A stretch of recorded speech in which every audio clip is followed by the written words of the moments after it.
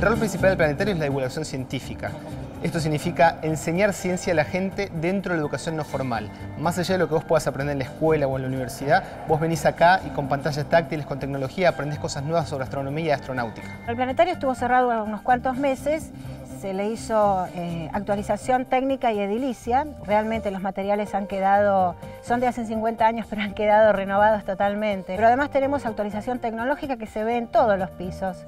Por ejemplo, ya en el parque, con el mapping que se proyecta en la cúpula, en el museo tenemos realidad virtual, tenemos los simuladores, tenemos un robot humanoide hay muy pocos en el mundo, uno está en la NASA, por ejemplo, que interactúa con el público a través de una pantalla touch.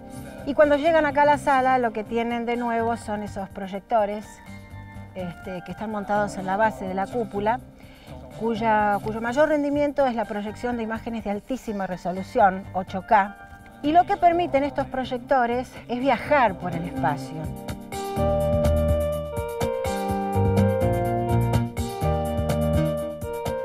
El planetario Galileo Galilei está apuntado a todo el público de la ciudad de Buenos Aires, a todos los vecinos.